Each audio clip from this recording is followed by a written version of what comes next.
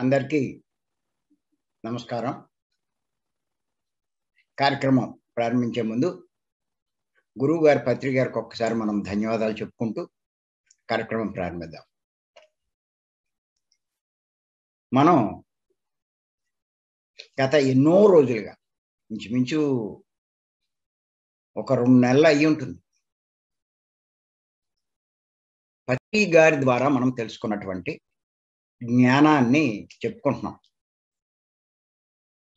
పత్రి గారి జ్ఞాన సందేశాలు అని చెప్పి. ఆయన తపన ఎంతసేపు ఏంటంటే పత్రి గారి తపన? ప్రతి ఒక్కరూ ఆత్మజ్ఞాని కావాలి. అందరూ అజ్ఞానాన్ని తొలగించుకోవాలి. దానికి ముఖ్య కారణం ఏంటంటే అందరూ కూడా దుఃఖంలోనే ఉన్నారు. డబ్బు లేని వాడి కాడి నుంచి అప్పర కోటేశ్వరుల దాకా. సామాన్యుడి దగ్గర నుంచి సీఎంలు ప్రైమ్ మినిస్టర్ల దాకా. పైకి మటుకు బాగానే కనపడతారు. లోపల చూస్తే చాలా మదన చాలా ఇది. హ్యాపీగా అన్నది ఎవడు కనిపించడు. దీని అంతటికీ ముఖ్య కారణం ఏమిటి అంటే వారు అజ్ఞానంలో ఉండడమే. అంచేత మరి ఇటువంటి ప్రపంచంలో మార్పు రావాలి అంటే అందరూ ఆనందంగా జీవించాలి అంటే ఖచ్చితంగా ప్రతి ఒక్కడు అజ్ఞానం తొలగించుకొని జ్ఞానవంతుడు కావాలి. దానికి మార్గం కూడా చెప్పారు పత్రిక. ఎప్పుడైనా సరే మీలో ఉన్నటువంటి దుఃఖం నుంచి బయటపడాలి అంటే మీ అజ్ఞానాన్ని తొలగించుకోవాలి. ఇంచేతంటే చాలామంది ఏదో అప్పుడుకున్నది. కొంతమందికి రోగం ఉండొచ్చు కొంతమంది కుటుంబ ఉండొచ్చు కొంతమందికి ఆరోగ్య ఆర్థిక సమస్య ఉండొచ్చు. లేకపోతే ఇరుగు పొరుగు వారితో ఏదో గొడవ ఉండొచ్చు. ఇలాగ ఏదో ఒకటి ఉంటుంది ప్రతి ఒక్కళ్ళకి. అందులోంచి బయటపడితే చాలు అనుకుంటారు. కానీ అందులోంచి బయటపడినా మళ్ళా కొత్త దాంట్లో వీళ్ళు చిక్కుకుంటారు. వాళ్ళకి తెలియకుండా యాక్సిడెంట్లు అవుతాయి. ఎవరో ఒకళ్ళు మృతి చెందుతూ ఉంటారు చనిపోతూ ఉంటారు. ఇలాగా తట్టుకోలేనటువంటి దుఃఖాలు కలుగుతూ ఉంటాయి. విలవిల్లాడిపోతూ ఉంటారు. అని చేత ఇది ఏదో ఒక దాంట్లోంచి బయటపడినంత మాత్రాన ఏమీ ప్రయోజనం లేదు. ఈ ఇటువంటి దాంట్లోంచి పూర్తిగా బయటపడాలి అంటే దుఃఖంలోంచి ఖచ్చితంగా అజ్ఞానాన్ని తొలగించుకోవాలి. మీకు ఒకటే లెక్కండి. మీకు ఏమాత్రం మానసిక అశాంతి కలుగుతూ ఉన్నా కూడా మీరు అజ్ఞానంలో ఉన్నట్టే. ఏమాత్రం మానసిక అశాంతి. ఏదో ఒకటి ప్రతి చిన్న విషయం. ఇంట్లో మాట మాట అనుకోవచ్చు లేకపోతే ఎవడైనా మన మాట వెనకపోవచ్చు లేకపోతే ఇంకా ఎన్నో రకాల కారణాలు. ఆ అశాంతి అన్నది ఉంటుంది. అది కొన్ని రోజులు ఉంటుంది. అందులోంచి కొంచెం తేరుకుంటాం. ఈ లోపల మళ్ళీ ఏదో జరుగుతుంది. అది. నేను కూడా అబ్జర్వ్ చేసేవాడిని నా లైఫ్లో. నేను వ్యాపారం చేసేవాడిని. వ్యాపారం చేసేటప్పుడు డబ్బులు కూడా బాగానే సంపాదించేవాడు కానీ నాకేదో తెలియని ఆవేదన అశాంతి ఎప్పుడూ ఉండేది. దేనికోసం కోసమో దానికోసం.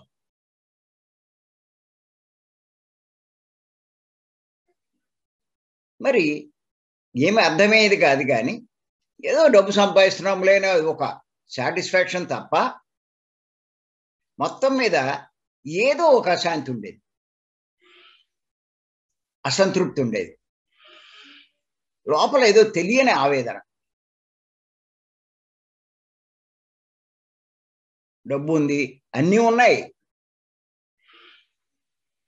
అయినా సరే ఆ ఆవేదన ఆ అశాంతి ఎప్పుడైతే పత్రి గారి పరిచయం అయి ఈ ఆధ్యాత్మిక మార్గంలోకి వచ్చానో మరి పత్రి గారు చెప్పినట్టు ఆ నాలుగు పనులు సాధన స్వాధ్యాయం సాంగత్యం సేవ. ఆ ఆ వెలితి పోయింది ఆ అశాంతి పోయింది.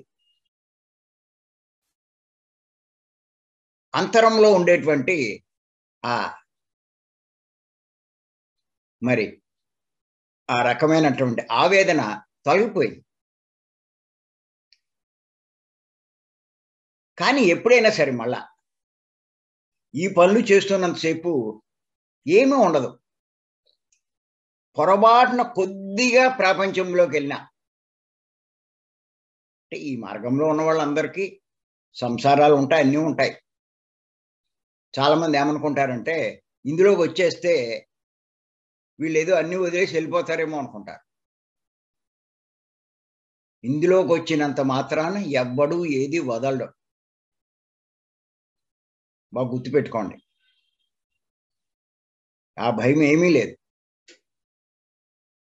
చాలా మంది భార్యలకి భర్త ధ్యానం చేస్తుంటే వీడు మెల్లిమెల్లిగా లేక మాట్లాడితే కళ్ళు మూసుకుంటున్నాడు మెల్లిమెల్లిగా ఏ హిమాలయాలకు వెళ్ళిపోతాడేమో భయపడతారు కొంతమంది భార్యలు ఈ ధ్యానం చేస్తూ ఉంటే ఈవిడ ఇలా చేస్తూ చేస్తూ చివరికి నన్ను పట్టించుకోదు సంసారాన్ని పట్టించుకోదు ఇంట్లో మమ్మల్ని ఏమి చూస్తూ ఈవిడే ఇలాగేదో సన్యాసిగా మారిపోతుందా అని భయపడతారు. భయపడి వాళ్ళు చాలా డిస్కరేజ్ చేస్తారు. ఇది చాలా సంసారాల్లో ఉంది. నేను గమనించాను. కొద్దిగా కూడా సహకరించారు. వాళ్ళు ఏమనుకుంటారంటే ఆ ధ్యానం చేసేవాళ్ళు నా భర్త కూడా ధ్యానంలోకి వస్తే ఎంత బాగుంటుంది అనుకుంటారు. ఆ భర్త ఏమనుకుంటాడంటే నా భార్య కూడా దీంట్లోకి వస్తే ఎంత బాగుంటుంది ఇద్దరూ కలిపి ఎంత బాగా చేసుకుందాం అనుకుంటారు. కానీ వాళ్ళల్లో ఉన్న ఈ భయం వల్ల వాళ్ళు ఏమిటి అంటే అసలు ఇందులోకి వీడినే వీడే రాకూడదు అనుకుంటుంటే ఆవిడ ఇందులోకి ఎలా వస్తుంది? వాడు ఆవిడే చేయకూడదు అనుకుంటుంటే ఎలా వాడు ఎలా వస్తాడు? అంచేత ఏదో ఆటంకాలు కల్పిస్తూ ఉంటారు ఇష్టపడరు. ఆడు కూర్చుంటే ఆ టీవీ సౌండ్లు ఎక్కువ పెడతారు. లేదంటే ఆ ఒంటింట్లో చప్పులు చేస్తారు. ఇలాగా ఆ స్త్రీలు చేస్తుంటే మగవాడు ఏం చేస్తాడంటే అప్పుడే ఆవిడకి ఏదో పని చెప్తాడు. లేకపోతే ఇది అంటాడు అది అంటాడు ఎన్ని అంటాడు. ఎక్కడికైనా ఈ జ్ఞాన కార్యక్రమానికి వెళ్తానంటే కుదరదు అంటాడు ఇలాగా చెప్తూ ఉంటారు. అంచేత వీళ్ళు ఒకసారి మెల్లిగా వాళ్ళను కూడా జానంలోకి దింపుదామని అనుకుంటే ఎటువంటి పరిస్థితిలో వాళ్ళు అంగీకరించారు. ఏ మాత్రం ఈ ప్రస్తావన తీసుకొచ్చిన. సహజంగా వీళ్ళు ఏంటంటే ఇద్దరు ఇందులో మార్గంలో ఉంటే ఎంతో హాయిగా ఉంటుంది కదా అని తను తెలుసుకున్న విషయాలు ఏవో చెప్దామని చూస్తూ ఉంటారు. ఎంత చెప్పినా కూడా వాళ్ళు అసలు ఎండడానికి ఇష్టపడరు. ఎంతసేపు ఒకటే భయంలో ఉంటారు.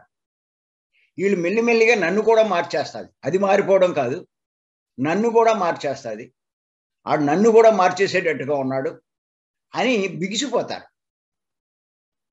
చాలామంది అంటూ ఉంటారు. ఏమోనండి ఆయన వస్తే బాగుంటుంది అనుకుంటాను. ఆయన ఏమి నేను చెప్పినా కూడా ఏమీ వింటం లేదు అని అంటూ ఉంటారు. ముఖ్య కారణం ఏంటంటే వాళ్ళు ఉన్నటువంటి భయం. కానీ గుర్తుపెట్టుకోండి ఈ ధ్యాన మార్గంలోకి వచ్చినంత మాత్రాన ఎవ్వరూ ఏమీ వదలరు. మరి పత్రి గారు ఇందులోకి వచ్చి ముప్పై ఏళ్ళు అయ్యింది. ఎవరిని వదిలేశారు? భార్యతోటే ఉన్నారు పిల్లలు ఉన్నారు మనవలు ఉన్నారు ఆయన ఈ పనులన్నీ చేసుకుంటూ అవకాశం వచ్చినప్పుడు వాళ్ళతో కూడా కాసేపు గడుపుతూ ఉంటారు. అంత గొప్ప స్థితిలో ఉండి ఆ సంసార ధర్మాన్ని నిర్వర్తిస్తున్నారు. అలాగే నేను ఇందులోకి వచ్చి పద్దెనిమిది పంతొమ్మిది సంవత్సరాలు ఏది వదిలేశాను? చూసుకుంటున్నాం. అంటే మన దగ్గర లేరు కానీ బయటికి పోయారు సంసారం అంతా వాళ్ళ పనులు వాడు చేసుకుంటున్నారు. ఎప్పుడైనా ఏదైనా కలిస్తే హాయ్ హాయ్ అనుకోవడమే. మేమేం వదిలేయలేదు. ఆ పనులు కూడా చూసుకుంటూ ఉంటాం. ప్రారంభంలో ఏమైందంటే ఈ వ్యవహారాలు ఇవన్నీ చూసుకునేటప్పుడు ఈ ప్రాపంచికంలోకి వచ్చినప్పుడు కొంచెం అశాంతి కలుగుతూ ఉండేది. ఏమిటి ఏమిటి ఏమిటి అంటూ. కానీ మళ్ళా దీంట్లోకి వచ్చేస్తే దీంట్లోకి రావడం అంటే ధ్యానం చేసుకోవడం ఆ పుస్తకాలు చదవడం ఈ సందేశాలు అందరికీ చెప్పడం. మరి చాలా హ్యాపీగా ఉండేది. నాకు అర్థమైంది.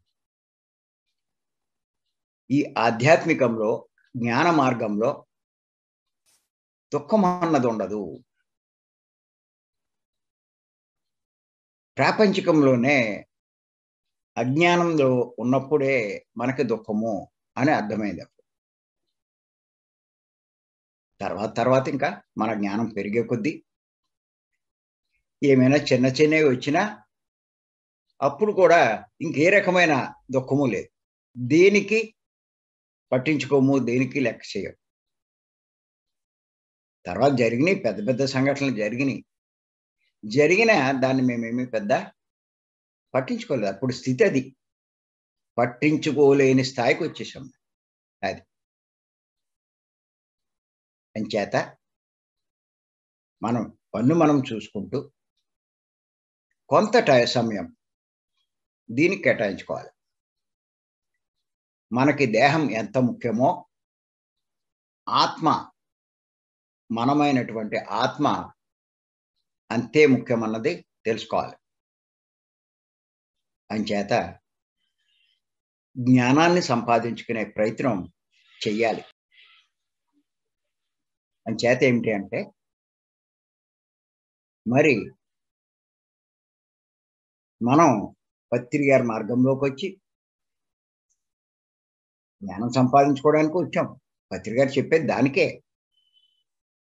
ధ్యానం జ్ఞానం కోసమే అని. ధ్యానం రోగాల కోసం అని చెప్పలేదు ఓకే నువ్వు జ్ఞానం కోసం ప్రయత్నిస్తే ఆ లాభం కూడా వస్తుంది. రాదనేం కాదు అది అదొక లాభం. అంతేకాదు నువ్వు తీవ్రంగా చెయ్యి. నీకు కావలసినవన్నీ ఆటోమేటిక్గా వస్తాయి. నువ్వు కోరుకున్నవి రావు కానీ నీకు కావాల్సినవన్నీ వస్తాయి. ఇది చాలా ఇంపార్టెంట్ పాయింట్. ఈ జ్ఞాన మార్గంలో కోరుకున్నది రాదు. నీకు కావలసినవన్నీ వస్తాయి. అసలు కోరుకున్నది ఎప్పుడూ జరగదు. చాలా మంది కోరుకుంటూ ఉంటారు. ప్రారంభ జన్మల్లో కోరుకున్నవి రావు. అర్హతని బట్టి వస్తాయి. మధ్యస్థ జన్మల్లో ఇలా సాధన జన్మల్లో. కోరుకున్నది రాదు కావాల్సింది వస్తుంది. చివరి జన్మ చివరి జన్మల్లో పత్రికారి స్థాయిలో. ఏదైతే లోక కళ్యాణకానికి అవసరమో అవన్నీ ఆటోమేటిక్గా సమకూరుతుంటాయి. పత్రికని చూస్తే మనకు తెలుస్తుంది. రూపాయలు ఏనైనా కోటాను కోట్ల ప్రాజెక్టులన్నీ మరి నిర్మింప చేశారు ఆయన. అది. అంచేత ఇవన్నీ అసమస్య కాదు. చేత ఇవన్నీ చేస్తున్నాం మనం పత్రిక చెప్పినట్టు. మరి మన ప్రవర్తన అలా ఉంది. ఆయన చెప్పినట్టుగా మన ప్రవర్తన ఉంటే పత్రిక చెప్పినట్టు. ఖచ్చితంగా మనం జ్ఞానం పొందుతున్నట్టే లెక్క. అన్నీ పూర్తిగా కాకపోయినా కొన్నైనా కొంతైనా మనం ఆచరిస్తూ ఉండాలి. అప్పుడు మనం కొద్దిగా జ్ఞానం ఉన్నట్టే లెక్క. వాటిలో ఒక పాయింట్ మీద చర్చించుకుంటున్నాం. గత పదిహేను ఎపిసోడ్ నుంచి చెప్పుకుంటున్నాం. ఏమిటంటే ఆ పాయింట్? ఆత్మజ్ఞాని శరీరాన్ని పుణ్యక్షేత్రాలకు తీసుకువెళ్ళడు. ఆత్మను దర్శించడానికి శరీరంలోనికి వెళ్తాడు అన్న ఒక్క పాయింట్ మీద. మరి పుణ్యక్షేత్రాలకు తీసుకెళ్ళడు పుణ్యక్షేత్రాలు ఏముంటాయి? గుళ్ళు ఉంటాయి. ఆ గుళ్ళకు వెళ్ళి అక్కడ ఆ విగ్రహాల్ని వాటిని దర్శిస్తూ ఉంటాడు. అంటే వాడి ఉద్దేశం ఏంటంటే ఈ పుణ్యక్షేత్రాలకు వెళ్ళాడంటే దేవుడు అక్కడే ఉంటాడని. ఆ కాశీలో రామేశ్వరంలో జెరూసలంలో మక్కాలో ఇలాగ తిరుపతిలో శ్రీశైలంలో ఉంటూ. కానీ మీరు ఆత్మజ్ఞానం సంపాదిస్తే కనుక ఆ పని చేయరు. మరి అజ్ఞాని ఎందుకు చేస్తున్నాడు? ఎందుకు చేస్తున్నాడు అంటే అక్కడ ఉండేది దేవుడని అనుకుంటాడు. ఆ విగ్రహమే దేవుడని అనుకుంటాడు. అంచేత ఆ దేవుడి కోసం అక్కడికి వెళ్తాడు. మరి ఆత్మజ్ఞాని ఎందుకు వెళ్ళడం? వీళ్ళిద్దరికి ఏంటి తేడా అంటే అజ్ఞాని ఎంతసేపు ఆ దేవుడు గురించి తెలుసుకోకుండా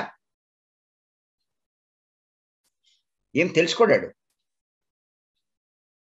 ఎంతసేపు పూర్వం నుంచి తరతరాల నుంచి ఆచారంగా వస్తుందన్నది చేస్తాడు. ఏం జరు పూర్వం నుంచి ఏది ఆచారంగా వస్తుందో అవన్నీ చేస్తూ ఉంటాడు. అందరూ ఏం చేస్తుంటే తను అది చేస్తాడు. ఎవరో పెద్దలు పండితులు. అంటే మొత్తం మీద ఇతరులే అనుసరిస్తాడు అనుకరిస్తాడు. తను ఆలోచించడు. తన స్వంత నిర్ణయాన్ని బట్టి తాను చెయ్యడు ఇతరులు ఏది చేస్తే అదే. దేవుడి విషయంలో కూడా అంతే. చిన్నప్పటి నుంచి పెద్దలు చెప్తారు తల్లి తండ్రి వీళ్ళంతా. హిందూ కుటుంబంలో జన్మిస్తే ఆత్మలమైన మనం అన్ని మతాల్లోనూ పుడతాం ఎప్పుడు హిందూ మతమే కాదు. అన్ని ప్రాంతాల్లో పుడతాం. చెప్పుకున్నాం కదా మూడు వందలు మూడు వందల యాభై జన్మల్లో ఉన్నాం మనమని. స్త్రీగా పుడతాం పురుషుడిగా పుడతాం. అంటే స్త్రీ శరీరం తీసుకుంటాం పురుష శరీరం తీసుకుంటాం.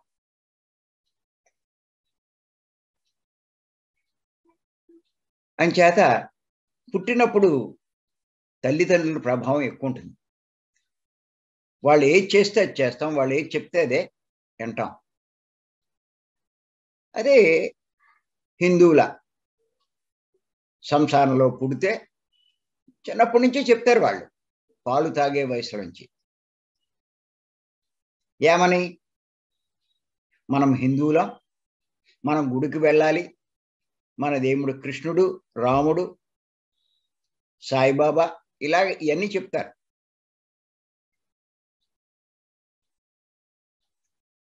అంచేత మనకి ఏదైనా కష్టం వస్తే మనం ఆయన కోరుకుంటే ఆయన మొక్కితే లేకపోతే తిరుపతి వెళ్దాం మనం మొక్కులు తీర్చుకుందాం. మనకు వచ్చిన కష్టం తీరిపోతే మన మొక్కు తీర్చేసుకుందాం అని చెప్తారు. అది నాటుకుపోద్ది వీళ్ళలో. సహజంగా కష్టాలు రాకుండా ఎవడో ఉండడు. కర్మలు చేసి వచ్చినోడికి కర్మలు చేస్తున్నవాడికి కష్టాలు రావేటి? ఏదో ఒకటి వస్తూనే ఉంటుంది. అది తట్టుకోలేక ఏం చేస్తారంటే మొక్కుతారు. ఆ వెంకటేశ్వర స్వామికి స్వామి మరి నా కష్టం తీరేటట్టు చెయ్యి. నేను తిరుమల వచ్చి నా జుట్టు ఇచ్చేస్తాను. మొత్తం జుట్టు ఇవ్వాలని ఇష్టం లేకపోతే మూడు కత్తెలు ఇస్తాను. లేకపోతే హుండీలో అంతేస్తాను. లేకపోతే అయ్యేస్తాను అంట వాడు కాలికి ఏదైనా పోలియో వచ్చి తగ్గింది అనుకోండి వెండి గాళ్ళు చేయించి హుండీలు వేస్తానంట ఇలాగా మొక్కుంటారు. ఇంకా మరీ నాట్ అవుతే ఏం చేస్తారంటే గ్రామ దేవతలకు మొక్కుంటారు కష్టాలు వస్తాయి. ఏమని? కోడిని బలి మేకను బలిస్తాను అంటారు. సహజంగా మీరు గుర్తెట్టుకోండి. ఎవరికైనా సరే ఏ సమస్య ఏ కష్టం ఏది కూడా శాశ్వతంగా ఉండదు. ఇది రాసుకోండి ప్రతి ఒక్కళ్ళు కూడా.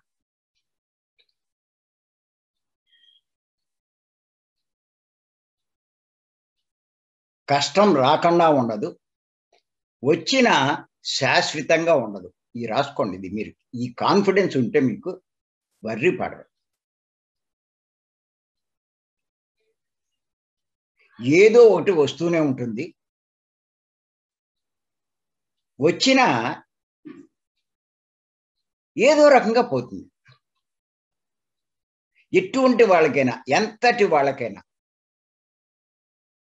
ఎలాంటి వాళ్ళకైనా సరే.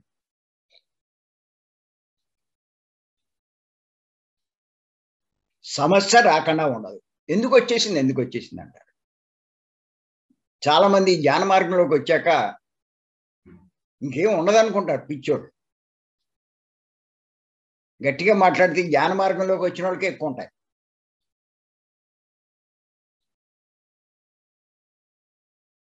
ఏంటి? జ్ఞానం వస్తే ఏమి ఉండదంటారు? నాకెందుకు కష్టాలు వస్తున్నాయి? అంతేకాదు జ్ఞానంలోకి రాని వాళ్ళ చుట్టాలు ఉంటారు వాళ్ళ కుటుంబ సభ్యులు ఉంటారు వీళ్ళు ఉంటారు.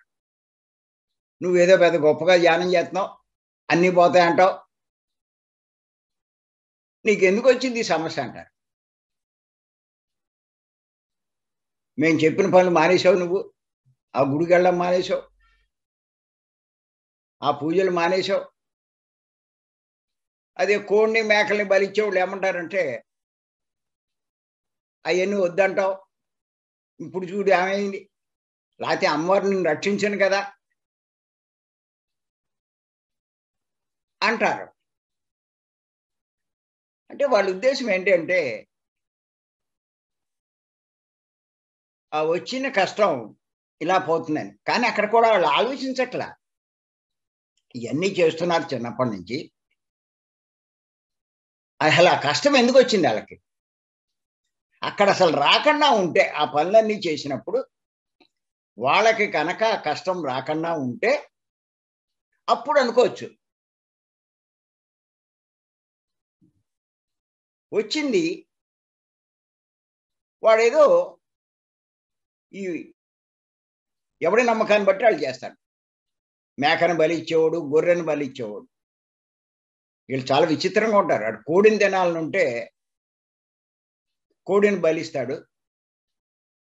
మేకను తినాలని ఉంటే ఆడికి ఆ తినాలని అనిపిస్తుంది ఆడికి అలవాటైపోయి దాన్ని ఇస్తాడు ఇక్కడ ఆడికి రెండు రెండు కోరికలు నెరవేరిపోతాయి. ఒకటి మొక్కు తీర్చుకున్నట్టు అవుతుంది. రెండు ఈడు కోరిక తీర్చుకున్నట్టు అవుతుంది. అక్కడే శుభ్రంగా తినేస్తారు. అంచేత ఈ మోజు ఎక్కువైపోయింది అన్ని చోట్ల. మరి తెలంగాణలోనే కాదు అన్ని చోట్ల చూడండి. ఎక్కడ చూసినా మీకు ఇది బాగా కనిపిస్తారు ఎక్కడెక్కడ గ్రామ దేవతలు ఉంటారో. ఆ సమ్మక్క సారక్క ఇలా మీరు చూస్తే రక్తం ఏరులై పారుతుంది. ఆ జీవుల యొక్క రక్తం. నేపాల్లో మరి సామూహిక బలిస్తారట ఈ జంతువులాటిని వందల కాదు వేలు కాదు లక్షల మీద చంపేస్తారు.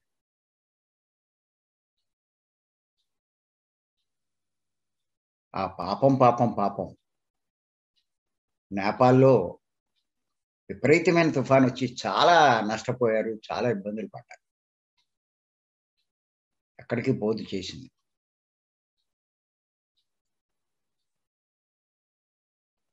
అలాగా అది వచ్చింది. వెంటనే తట్టుకోలేక మొక్కేస్తారు కొన్నాళ్ళు పోతుంది. దానివల్ల పోయింది అనుకుంటారు వాళ్ళు. గుర్తెట్టుకోండి మీరు మొక్కకపోయినా మీరేమీ చెయ్యకపోయినా అది శాశ్వతంగా ఉండదు. ఎవరికైనా సరే ఏ సమస్య అయినా సరే ఏ కష్టమైనా సరే. కొంతకాలమే ఉంటుంది.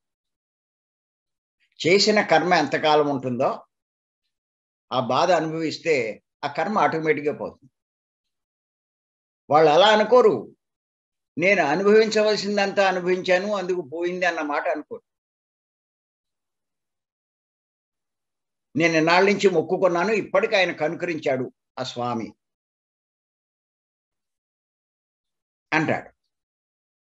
ఏ సమస్య పరిష్కారం కాదండి. ఏ కష్టం లోంచి బయటపడడం చెప్పండి. ఏ రోగం పోకుండా అలా ఉంటుంది చెప్పండి.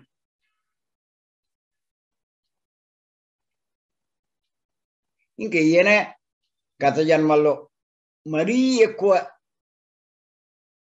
పాపాలు చేసి వస్తే కొన్ని కొన్ని రోగాలు జీవితాంతం ఉంటాయి. కనిపించాల్సిందే. ఇంకా మొక్కినా ఏమి పోదు. ఇన్ని హాస్పిటల్ తిరిగినా పోదు. ఏం చేసినా పోదు.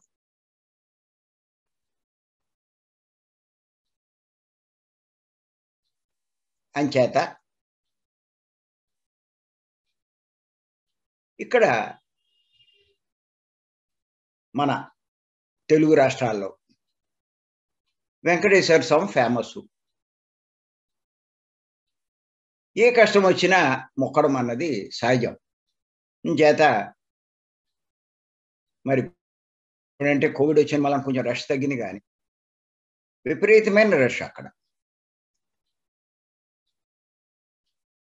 అక్కడ అన్ని క్యూలే. గుండు గుయించుకోవడానికి క్యూ భోజనం చేయడానికి క్యూ దర్శనానికి క్యూ మరి అంతమంది ఎందుకు వస్తున్నారు అంటే కష్టాలు పోయి. కోరికలు తీరినాయి. అని చేతండి నేను పదే పదే కూడా చెప్తూ ఉంటాను.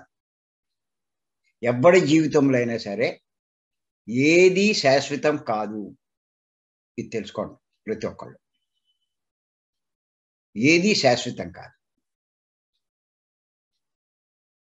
నేను ఖచ్చితంగా చెప్తున్నాను. ఎప్పుడూ కనపడేటట్టు మీ మంచం దగ్గర ఏదో లేవగానే పడుకునేటప్పుడు అది కనపడుతూ ఉండాలి మీకు. ఇది శాశ్వతం కాదు. కొంచెం ధైర్యంగా ఉంటారు. కొన్నాళ్ళు ఎదురు చూస్తే దానికి పరిష్కారం దొరుకుతుందండి.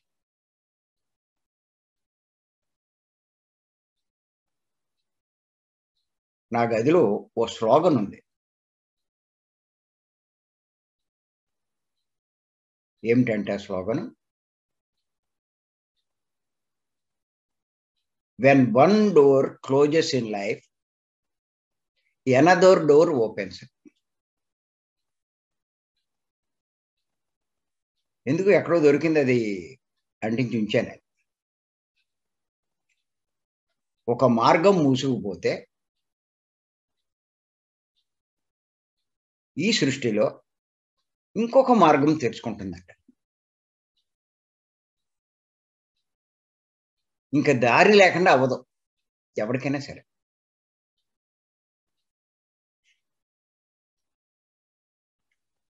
ఇంకొకటి కూడా గుర్తుపెట్టుకోండి. సృష్టి మన పట్ల అంత కఠోరంగా వ్యవహరించదు. భరించలేనంత తట్టుకోలేనంత శిక్షలు వెయ్యదు. మనం ఊరికే విలవెల్లి ఆడిపోయి భరించలేకపోతున్నాను అంటాం కానీ మీకు వచ్చేవి భరించలేనంత ఉండవు. ఆ జీవులు ఆ ప్రాణులు భరించలేనంత నరకాన్ని మనము వాటికి పెట్టినా చేతులు కాళ్ళు కట్టేసి కదలకుండా చేసేసి కోసేసి బతికుండగానే చర్మం ఒలిచేసి వాటికి అంత నరకం చూపించిన మనకి మటుకు ఆ సృష్టికర్త ఆ ప్రకృతి భరించలేనంత శిక్షయుడు. నువ్వు భరించగలిగిందే పడుతూ ఉంటుంది. ఎంత నువ్వు హింస అక్కడ చేసావో అంతే అనుభవిస్తావు. ఎన్నాళ్ళు చేసావో అన్నాళ్ళు అనుభవిస్తావు. అది అయిపోయింది అనుభవించడం. ఇంకెందుకది బయటపడిపోతావు. పర్మనెంట్గా ఉండదు. ఇంచేత ఏ సమస్య వచ్చినా కూడా ఇది శాశ్వతం కాదు. అని చదువుకుంటూ ఉండండి. చాలా ధైర్యంగా ఉంటారు.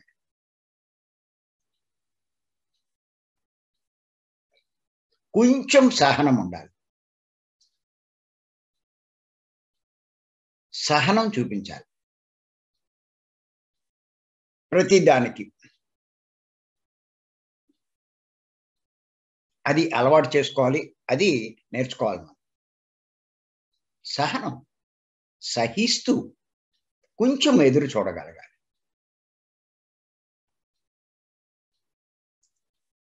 అదే మన ప్రగతికి మార్గం. పత్రిక చెప్తారు కదా సహనమే ప్రగతి.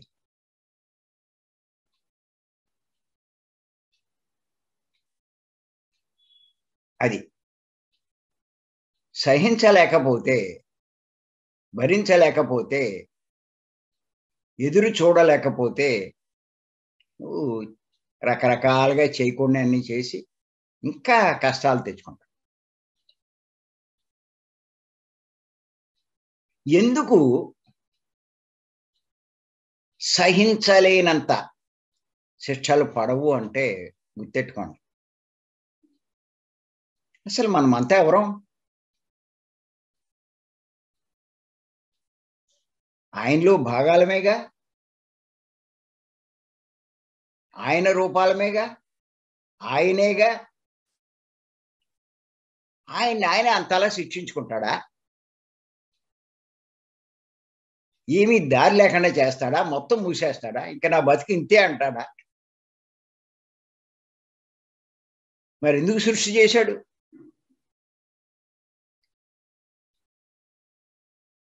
అంచేత సహించలేనంత భరించలేనంత ఏమీ ఉండవు. మనం పాఠాలు నేర్చుకోవడానికే అనుభవం పొందడానికే మనలో మార్పు రావడానికే మనల్ని మనం సరి చేసుకోవడానికే మన ప్రవర్తన మార్చుకోవడానికే మనం మంచిగా మారడానికే మనం అందరికీ మేలు చే అందరినీ ఆనందంగా జీవించనివ్వడానికే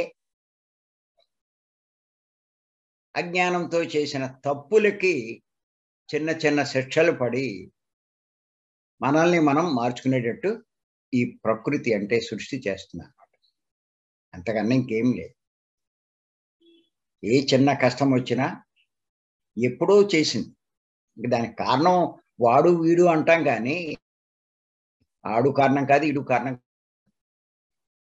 పత్రిక చెప్తారు ఎవరి వాస్తవానికి వాళ్ళే సృష్టికర్తలు? చేతి విజ్ఞానంలో ఒక ముఖ్యమైన పాయింట్ ఆయన చెప్తారు నీ ప్రస్తుతం నీ కష్టాలు ఉన్నాయంటే గతంలో నువ్వు చేసుకున్నదే ఇప్పుడు నువ్వు అనుభవిస్తున్నావు. అని చేత ఎవరినోని ప్రయోజనం ఏంటి? కారణం వాడవుతాడు. వాడి వల్లే నాకు అయింది అనుకుంటాడు. వాడి వల్ల కాదు నువ్వు చేసిన దాని వల్ల అవుతావు. చాలామంది వాళ్ళకున్న డబ్బుని దగ్గర వాళ్ళకి ఇస్తారు. బయట వాళ్ళు ఎవరికైనా ఇస్తే సరిగ్గా ఇస్తారు ఎవరా? మనకు కావాల్సి వచ్చినప్పుడు తిరిగి ఇస్తాడు. మనకు అవసరానికి వాడు ఆదుకుంటాడు. ఇలాగంటూ. విచిత్రం ఏంటంటే ఎంత నమ్మకంగా ఇచ్చినా వాడే దెబ్బేస్తాడు నువ్వెక్కడ ఇచ్చావు అంటాడు. ఇంకా చూడాలి. వాళ్ళ దగ్గరికి వెళ్ళి వీళ్ళ దగ్గరికి వెళ్ళి నాకు వాడు లక్ష ఇచ్చాను అగ్గొట్టేశాడు. వాడికి రెండు లక్షలు ఇచ్చాను అగ్గొట్టాడు. వాడికి ఐదు లక్షలు ఇచ్చాను అగ్గొట్టాడు. పది లక్షలు ఇచ్చాను అగ్గొట్టేశాడు. నేను చేసిన సాయం దాని గురించి ఇప్పుడు అసలు తెలియనట్టుగా ఉన్నారు పట్టించుకున్నట్టుగా ఉన్నారు అని విలవిల్లలాడేవాళ్ళు బాధపడేవాళ్ళు ఎంతో మంది ఉన్నారు. నా పూర్తిగా నన్ను అన్యాయం చేశాడు. నా దగ్గరోడే నన్ను ఇచ్చేశాడు అని బాధపడుతూ ఉన్నాను కానీ గుర్తెట్టుకోండి. దానికి ముఖ్య కారణం గతంలో మనం ఎవరికో వేసేసాం ఇప్పుడు ఈ రూపంలో అది మనకి దెబ్బ పడింది. అంతే. నువ్వు ఎవ్వరికీ ఇంతకుముందు ఏమీ చెయ్యకపోతే ఇప్పుడు నీకు ఏది జరగదు.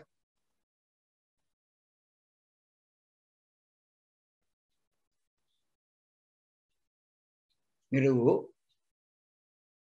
మీ జీవితంలో ఎవరిని మోసగించకుండా ఎవరిని నష్టపరచకుండా ఎవరిది అపహరించకుండా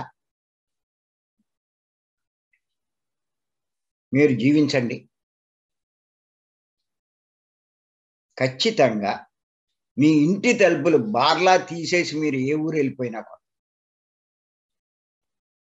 మీ ఇంట్లోకి ఎవరు రారు.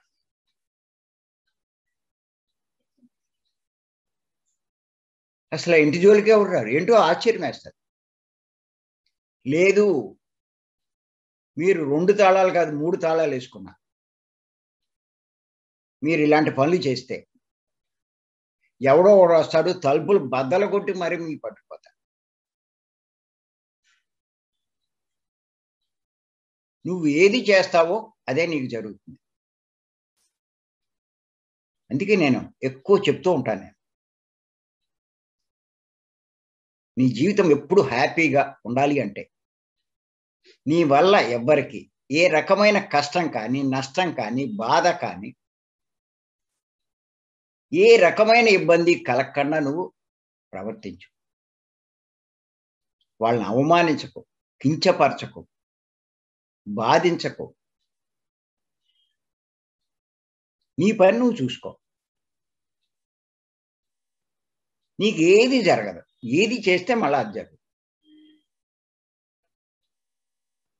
ఈ సృష్టిలో ఏంటంటే ఒక సిద్ధాంతం అది మనం గుర్తుపెట్టుకోవాలి. సిద్ధాంతం ఏంటంటే ఈ సృష్టిలో ఉన్న సిద్ధాంతం ఇవాళ నువ్వు ఒకళ్ళని మోసగించిన ఒకళ్ళది అపహరించిన ఒకళ్ళకి నష్టకలి నష్టపరిచిన కష్టపెట్టినా ఏం చేసినా వాడి వల్లే నీకు అది జరుగుతుందని ఉండదు. ఇంకొకటి వల్ల నీకు భవిష్యత్తులో అదే రకమైన నష్టం అదే రకమైన కష్టం. వీడు చేయడు మనకి. నువ్వు ఎవడికి చేసావో వాడు మనకేం చేయడు. ఇంకొకటి వల్ల మనకు అది జరుగుతుంది. మనకు అర్థం కాదు అది. ఆడికి ఎప్పుడు నేను అన్యాయం చేయలేదు. ఆడిని ఎప్పుడు నేను ఏమీ ఇబ్బంది పెట్టలేదు. ఆడేటి నాకు ఇలా చేశాడు అనుకుంటారు. వాడు నీకేమీ ఇంతకుముందు వాళ్ళు నువ్వేం చెయ్యక్కలా. నువ్వు ఇంతకుముందు ఎవరినో చేశావు. ఈ జన్మలోనో ఇంతకుముందు జన్మలోనో ఇది ఒక సిద్ధాంతం. గుర్తుపెట్టుకోండి.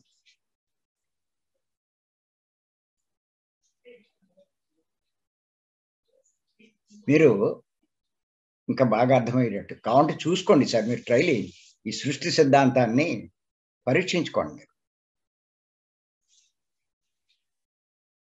ఎలాగంటే మీరు బస్సులో ప్రయాణం చేస్తున్నారు రష్గా కూర్చున్నారు మీరు. పాపం కొంచెం పెద్దోళ్ళు ఎవరో ఇబ్బంది పడుతూ ఉంటే మీరు అక్కడికి కాస్త ఇరుగ్గా పక్కకి జరిగి ఏదో కూర్చోమని సర్దుకోమని చెప్పి మీరు అవకాశం ఇచ్చారు. ఆ నుంచి ఇబ్బంది పడుతున్నవాడు ఎంతో హ్యాపీ ఫీల్ అవుతాడు దాని ఫలితం ఏమవుతుందంటే ఇంకోసారి మీరు ప్రయాణం చేసేటప్పుడు అంత రష్గా ఉండి మీకు సీట్ లేనప్పుడు ఏం జరుగుతుందంటే మీరు ఊహించరు. సరిగ్గా మీ పక్కన ఉన్నవాడే లేచి బస్సు దిగిపోతాడు.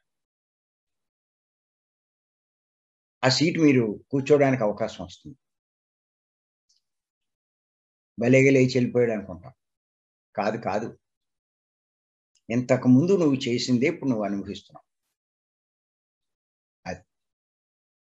లేకపోతే ఎవడో ఒకడు మీరు ఎలా జరిగి అవకాశం కల్పించాడో మీకు అదే రకం అవకాశం వస్తుంది.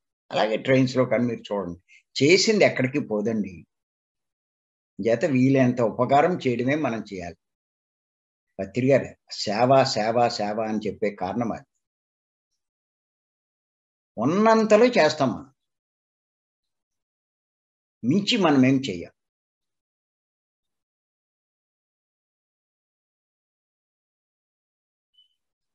సేవకు అంత ఇంపార్టెన్స్ ఇచ్చారు పెద్దవాళ్ళు.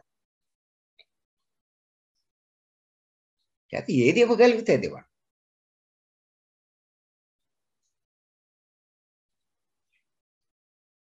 ఊరికే దాచుకుంటే ఏమవుతుంది? ఇచ్చింది మీకు కూడా వస్తుంది. ఎక్కడికి పోదు. దాచుకున్నది పోతుంది. మీ శరీరం వదిలేస్తే దాచుకున్నది అంతా ఉంటుంది. మీకు కూడా వస్తుందా? అది మీ దగ్గర ఉన్నప్పుడు అందులో ఎంత అవుతే మీరు ఇతరులకు ఇస్తూ ఉంటారో దాని ఫలితమే మీకు వస్తుంది. వడ్డీతో సహా. అంతా మీరు ఏదో రూపంలో తర్వాత పొందుతారు. ఇచ్చింది తిరిగి పొందుతాం. తీసుకున్నది తిరిగి ఇవ్వాలి. అది. అన్నీ జీవితంలో తెలుసుకుంటే బాగా అర్థమవుతుంది. ఇవన్నీ ఎప్పుడు సాధ్యమో అంటే మీరు అజ్ఞానంలోంచి బయటపడితే మీ ప్రవర్తన మొత్తం మారిపోతుంది. ఆ జ్ఞానాన్ని తొలగించుకోవాలి అనే నేను చెప్పేది. మరి మనం జ్ఞానం వచ్చిందా లేదా అన్నది మనకు తెలియాలి అంటే పత్రి గారు చెప్పినటువంటి విషయాలు.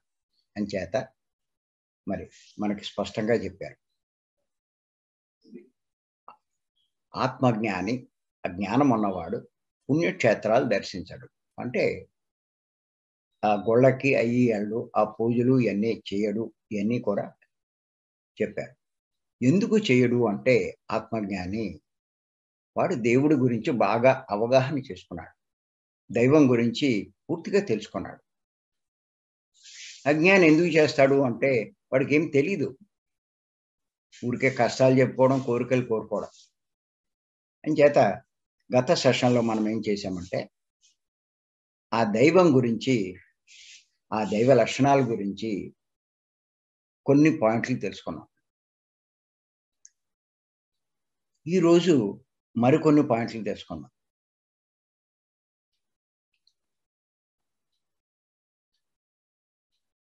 ఆయన ఇంతకుముందు మనం చెప్పుకున్నాం. అనంతుడు అంటే ఆది అంతములు లేనివాడు. అంటే ఈ సృష్టి అంతా వ్యాపించి ఉన్నవాడు. ఈ సృష్టికి ఆది అంతాలు లేదు. అంచేత ఆ భగవంతునికి కూడా ఆది అంతాలు లేవు. అంతటి వాడు. అని లేనిది ఎక్కడ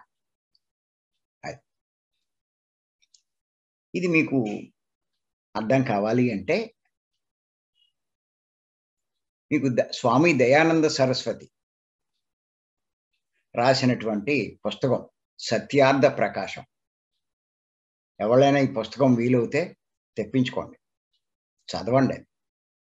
మీకు చాలా సత్యాలు తెలుస్తాయి. దయానంద సరస్వతి గొప్ప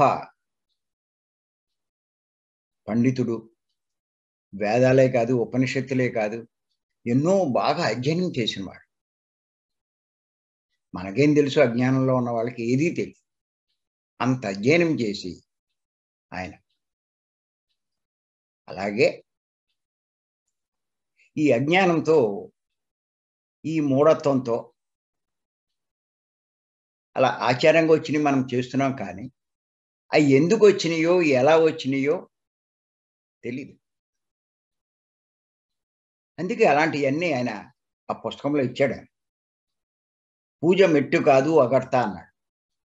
చెప్పుకుంటున్నాం కదా ఆత్మజ్ఞాని మరి ఆ పూజలో అయ్యి చేయుడు అని చెప్పి. మరి ఎందుకు అంటే అజ్ఞాని ఆ దైవం గురించి కానీ ఇవన్నీ ఎక్కడ అధ్యయనం చేయలేదు తెలుసుకోలేదు. అందుకని అవన్నీ చేస్తూ ఉంటాడు. ఆత్మజ్ఞాని ఇవన్నీ అధ్యయనం చేశాడు కాబట్టి ఆ పనులు చేయడు. అవన్నీ నష్టం కలిగించేవి కానీ ఇంకోటి కాదు. ఆ దయానంద సరస్వతి పూజ వల్ల ఓ ముప్పై నలభై నష్టాలు చెప్పాడు ఆయన. ఆ పుస్తకం చదవండి. సత్యార్థ ప్రకాశం. తప్పనిసరిగా సంపాదించాడు.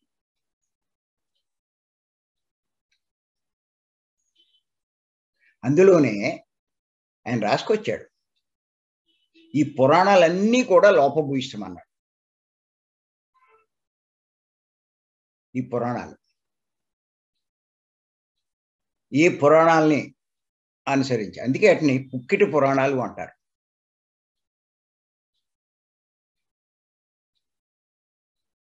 శాస్త్రాలు వేరు పురాణాలు వేరు. ఎన్నో చెప్తూ ఉంటారు ఆ పండితులు. ఒక్కొక్క విషయం మనం అర్థం అవడం కోసం. అలా అలాగే ఆ శివపురాణం శ్రీ పురాణం అని శివపురాణం అని ఇలాంటివన్నీ కథలన్నీ ఇచ్చాడు. శివపురాణం ఏంటంటే లేకపోతే విష్ణు పురాణం ఇలా. ఈ సృష్టికి మూలం శివుడు అని చెప్పి ఆ శివపురాణంలో ఉంటుంది. ఆయన తప్ప ఎవరూ లేరు. ఆయనే ఉండేవాడు. అప్పుడు ఆయన ఏం చేశాడంటే ఆ పురాణాన్ని బట్టి. ముందు బ్రహ్మ విష్ణువుని సృష్టించాడంట ఆయన. ఆ శివుడు సృష్టించి వీళ్ళిద్దరిలో ఎవరికి ఉన్నత స్థితి కల్పించాలో నిర్ణయించుకోవడానికి వాళ్ళిద్దరికీ ఓ పరీక్ష పెట్టాడు ఏమిటంటే ఆ పరీక్ష? శివుడు అంటే లింగమనే కదా మనం. ఆ లింగం సృష్టి అంతా వ్యాపించి ఉంటుంది. అంతంగా ఉంటుంది. మరి ఆది అంతము లేనివాడు అంటే అర్థమేంటి? అంతటి గొప్పవాడు. అప్పుడు వాళ్ళిద్దరిని పిలిచి చెప్పాడు. మీలో ఎవరైతే నా ఆదిని కానీ అంతాన్ని కానీ మీరు తెలుసుకోగలుగుతారో వాడికి ఇద్దరికంటే ఉన్నతమైన స్థితి కల్పిస్తాను ఒకళ్ళు ఆ విష్ణువు ఆది కనుక్కోవడానికి బ్రహ్మ ఆయన యొక్క అంతం కనుక్కోవడానికి నిర్ణయించుకున్నాడు సరే ఆ పరీక్ష పెట్టి వాడిని తెలుసుకుంటామన్నాడు మరి ఆ విష్ణువు బ్రహ్మ అంటే మరి నిమిషంలో ఎన్ని వేల లక్షల కిలోమీటర్లు ప్రయాణించగలరు? మీరు తెలుసుకోవచ్చు. ఎందుకంటే చనిపోయిన తర్వాత మనం చెప్పుకుంటాం ఒక చీకటి సొరంగంలోంచి మనల్ని తీసుకెళ్తారని ఆ సహాయకులు. వాళ్ళు ఈ లోకం నుంచి ఆ లోకానికి వెళ్ళాలంటే లక్షల లక్షల లక్షల లక్షలు కనిపించే లోకాలే ఎన్నో వేలు లక్షల కిలోమీటర్లు ఉంటే ఈ భూలోకం నుంచి భూవర్లోకం అంటే ఎన్ని? అన్ని లోకాలు. చాలా స్పీడ్గా ప్రయాణిస్తారు. అలా దాన్ని బట్టి మనం చూసుకుంటే ఈ విష్ణువు బ్రహ్మ అలా ప్రయాణించారు. ఎంత ప్రయాణం చేస్తున్నా ఎన్ని రోజులు ప్రయాణం చేస్తున్నా. విష్ణువుకి ఆది కనపడలేదు.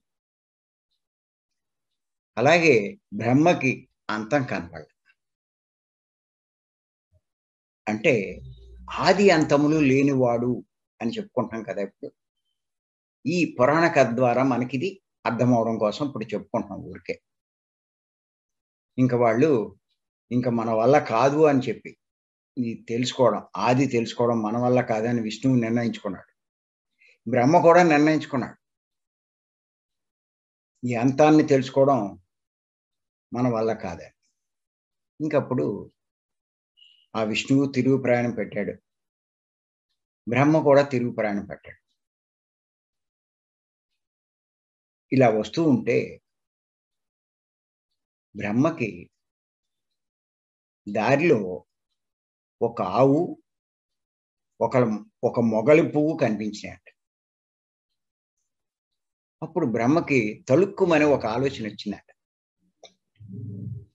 ఏమని ఆలోచన? నేను అంతాన్ని చూశాను అని చెప్తే శివుడికి మరి నాకే ఇద్దరిలోనూ ఉన్నత స్థితి కలుగుతుంది కదా? అని చెప్పి ఆ ఆవుకి మొగలు పువ్వుకి ఏం చెప్పాడంటే నేను శివుడి దగ్గరికి వెళ్ళి ఇలా చెప్తాను. నేను చూశానన్న సంగతి మీరు చెప్పండి అని.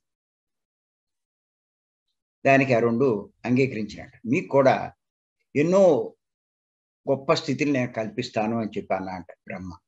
అలా మీరు చెప్తే. అప్పుడు ఆ ఆవు మొగలు పువ్వుని తీసుకుని బ్రహ్మ ఏం చేశాడంటే శివుడి దగ్గరికి వెళ్ళాడు విష్ణువు వచ్చాడు. విష్ణు మటుకు ఉన్నది ఉన్నట్టు చెప్పాడు. శివుడితో ఏమని? నేను చూడలేకపోయాను. నాకు ఆది అన్నది దొరకలేదు. ఆది అంతం. మీ శరీరానికి ఆది అంతం ఉంది. మీ ఊరికి ఆది అంతం ఉంది. మీ ఇంటికి ఆది అంతం ఉంటుంది. మీ రాష్ట్రానికి ఉంటుంది మీ దేశానికి ఉంటుంది. ఆఖరికి భూమండలానికి కూడా ఆది అంతం. ఇవన్నీ లేనివాడే ఆ పరమాత్మ ఆ పరబ్రహ్మ. ఆ భగవంతుడు. అప్పుడు బ్రహ్మ ఏమన్నాడంటే లేదు నేను చూశాను అంతమన్నాడు మీకు కావాలి అంటే ఇవి ఆవు మొగలి పువ్వు. వీళ్ళని అడగండి. వాళ్ళు చెప్తారు. అప్పుడు ఆవు ఏం చేసిందంటే చూసినట్టుగా తల ఊపిందంట. మొగలు పువ్వు కూడా చూశాడు ఈయన అని చెప్పి. కానీ అంత శక్తివంతుడైన ఆ ఆ శివుడు వీళ్ళు చేసే పని తెలీదా? అర్థం చేసుకున్నాడు. బ్రహ్మ అబద్ధం చెప్తున్నాడని అందుకే ఈ సాక్ష్యాలు తీసుకొచ్చాడు. మరి అలా అవుతే విష్ణువు కూడా చూసే ఉందడు కదా అని గట్టిగా నిలదీసేసరికి బ్రహ్మ అంగీకరించాడు. నేను చూడలేదని. అప్పుడు బ్రహ్మకి శాపం ఇచ్చాడు ఏమనంటే భూమి మీద నిన్నెవరూ ఆరాధించరు. నువ్వు ఆరాధనలు కోల్పోతావు అని శాపం ఇచ్చాడు అందుకే శివపురాణం ని బట్టే పూర్వం నుంచి కూడా అందరి దేవుళ్ళకి గుళ్ళు ఉన్నాయి కానీ ఇంత గొప్పవాడైనా సృష్టికర్త అయినా బ్రహ్మకి ఎక్కడ గుడి లేదు. చూసుకోండి మీరు. అడుగడుగునా శివ ఆలయాలు ఉంటాయి విష్ణు ఆలయాలు ఉంటాయి రామాలయాలు ఉంటాయి అన్నీ ఉంటాయి. అందరివి ఉంటాయి. బ్రహ్మకి లేవు. ఎందుకంటారంటే ఈ పురాణం గురించి చెప్తూ ఉంటారు. అలాగే ఆవు తప్పుడు సాక్ష్యం ఇచ్చింది కాబట్టి దాన్ని కూడా శపించాడంట. నీ మొహం మీద ఎవరు పూజించరు అని చెప్పి. నీ మొహాన్ని ఎవరు తప్పు చెప్పో నీ మొహంతో అని. అందుకే మీరు ఇప్పుడు చూడండి ఆవు మొహం మీద పూజించరు వెనకాల తోక దగ్గర పూజిస్తారు. పూజలు అయితే వెనకాలే చేస్తారు. చాలా మందికి అర్థం కాదు ఆవు ముడ్డు మీద పూజించడం ఏంటి? మొహం మీద కాకుండా. ముడ్డిని ఎవరైనా పూజిస్తారా? ఆ పసుపు కుంకుమ పూలు అన్నీ ఆ ముడ్డు మీద వేస్తారు? అవుట్ ఆ దానం ఇచ్చేటప్పుడు చేసేటప్పుడు. అంటే ఈ శాపం అంటారు. అలాగే మొగలి పువ్వు కూడా ఇచ్చిన శాపం ఏంటంటే నిన్ను పూజకి ఎవ్వరూ వాడరు అని. నువ్వు ఆ అర్హత కోల్పోయావు. అని చెప్పి శివుడు శాపం ఇచ్చాడు అందుకే బ్రహ్మకు ఆలయాలు లేవు. ఆవును మొహం మీద పూజించరు. మొగలు పూ పూ పూజకి ఎక్క ఎవ్వరు వాడరు సరే ఈ పురాణాన్ని బట్టి ఇప్పుడు ఆచరించుకుంటూ వస్తున్నారు జనం అంతా ఎప్పటి నుంచో వచ్చిన ఆచారం. ఇవాళ ఎవడో కొత్తగా బ్రహ్మగుడి కట్టడం. ఇంచేత ఏమో మళ్ళీ ఏదైనా చేస్తే అరిష్టం జరుగుతుంది. ఎవ్వడూ చేయని పని మనం చేయడం ఏంటి? అని. ఆవును మొహం మీద పూజ చే ఎప్పటి నుంచి ఆచారంగా వచ్చింది కాబట్టి అందుచేత అలాగే మొగులు పువ్వు వాడరు. కారణం ఏంటి అంటే అలా ఎప్పటి నుంచో వస్తుంది. ఇంకా అది అందుకని ఆ పని ఎవరు చేయరు. అది. కానీ ఇవన్నీ మనకు కూడా చూస్తే కరెక్ట్ ఏమో అనిపిస్తుంది. ఇప్పుడు చేస్తున్న బట్టి లోకంలో జరుగుతున్న దాన్ని బట్టి.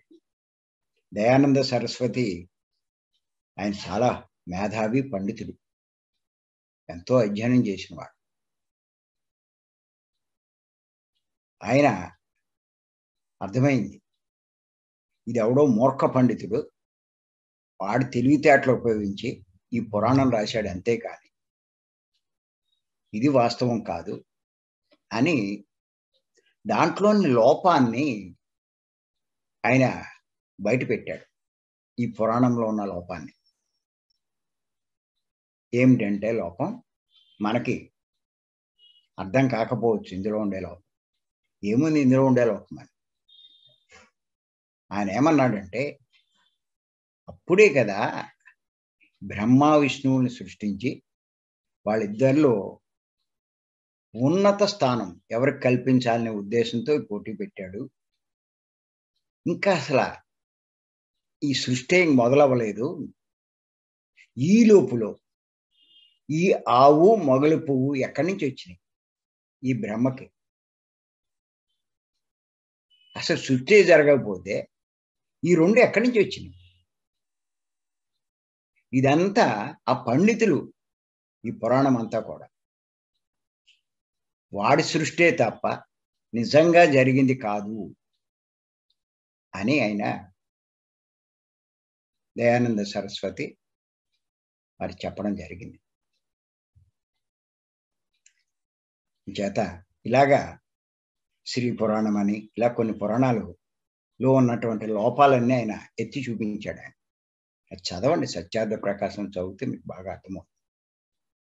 అసలు ఈ విగ్రహారాధన ఎప్పటి నుంచి వచ్చింది? ఆయన వేదాల దాకా వెళ్ళిపోయాడు చివరికంట. విగ్రహం దేవుడు కాదు. మరి ఆరాధన ఎందుకు వచ్చింది? ఎప్పుడు వచ్చింది? నీ సందేహం వచ్చి పైకంటే వెళ్ళాడు. వెళ్తే వేదాల్లో ఎక్కడ విగ్రహారాధన లేదు. యజ్ఞాలు యాగాలు ఇటువంటివి ఉన్నాయి కానీ విగ్రహారాధన లేదు. మరి అప్పుడు లేకపోతే ఎప్పటి నుంచి వచ్చిందని మళ్ళా కిందకు వచ్చాడు. అలా మధ్యలో ఎక్కడో ఆ జైనుల కాలంలోనో ఎవరో విగ్రహారాధన చేస్తే జనమంతా అందులోకి వెళ్తే ఈ హిందూ మతం వదిలేస్తారని ఈ హిందూ పండితులంతా మళ్ళా ప్రారంభించి దీనికి కావాల్సిన మంత్రాలు ఇవన్నీ తయారు చేసి పూర్వం పండితులదే ఎక్కువ. డామినేషన్. ఇప్పుడు వాళ్ళకి విలువ లేదు కానీ పూర్వకాలం అలాగే ఉండేది. వాళ్ళు ఏది రాస్తే అదే. శాస్త్రం కింద అందరూ అంగీకరిస్తారు దాన్ని ఆచరిస్తారు. అది. చేత ఇవన్నీ తెలుసుకోవాలి మనం కొంత. ఏమీ తెలుసుకోకపోతే ఇంకా అదే మూఢ మూఢత్వంలో మూర్ఖత్వంలో ఉంటాం. చేత దేవుడి గురించి. ఇక్కడ ఓ పాయింట్ ఏంటంటే ఆది అంతములు లేనివాడు ఎంతైనా సృష్టించుకోవచ్చు ఎంతైనా చేయొచ్చు. ఎన్ని లోకాలు ఎన్ని విశ్వాలు ఎన్ని ఉన్నాయో ఆయన సృష్టికర్త చేసినంత సృష్టి పూర్ణాత్మలు. వేల మంది కాదంట. ఈ కోట్ల సంవత్సరాల నుంచి సృష్టి ఏర్పడ్డాక లక్షల మీద ఉన్నారు. అందరూ చేస్తూ ఉంటారు సృష్టి. ఎంతమంది ఎంత చేసుకున్నా ఎన్ని విశ్వాలు ఎన్ని గ్రహాలు ఎన్ని సృష్టించుకున్నా ఎన్ని జీవులు జీవరాశులు సృష్టించుకున్నా ఇంకా అవకాశం ఉంటూనే ఉంటుందంట ఇక్కడ ఈ సృష్టిలో. వాళ్ళు చేసే పని వాళ్ళు చేస్తారు వీళ్ళు చేసే పని వీళ్ళు చేస్తారు. అలా చేస్తూనే ఉంటారు. రేపు మనమైనా ఆ స్థాయికి ఎదిగితే మనము మన పని చేస్తూ నువ్వు ఎంత చేసుకోవడానికైనా నీకు ఉంటుంది. అంత గొప్పది ఈ సృష్టి. అంచేత మరి ఆయన యొక్క లక్షణం ఏంటంటే అంతా ఆయనేగా. ఆయన కలిగింది కాంది ఎక్కడుంది? ఆయన అందుకే అనంతుడు అంటారు. ఆది అంతము లేనివాడు. అపరిమితుడు అంటారు. పరిమాణం లేనివాడు. ఆయన ఇంతానేమీ లేదు. చేత మరి భగవంతుని గురించి మనం ఇంకా డీటెయిల్డ్గా ఇంకా ఆయన లక్షణాలు కొన్ని తెలుసుకుందాం. నేను ఏమనుకున్నానంటే ముందు ఆయన లక్షణాలన్నీ చెప్పి తర్వాత వివరణ ఇద్దాం అనుకున్నాం కానీ తర్వాత నాకు ఏమర్థమైందంటే ఊరికే చెప్పుకుంటూ పోతే ఏం ఉపయోగం లేదు. అవసరమైన కాడ మనం కొంచెం వివరణ ఇస్తే అది బాగా అర్థం చేసుకుంటారు భగవంతుడి గురించి అని కొంచెం వివరణ ఇవ్వాలని అనిపించి ఇలా వివరణ ఇవ్వడం జరిగింది. మరి ఈ అవకాశం ఇచ్చి మీ అందరికీ నేను మరొక్కసారి ధన్యవాదాలు చెప్తూ రేపు మరికొన్ని విషయాలు మనం తెలుసుకుందాం. Thank you thank you thank you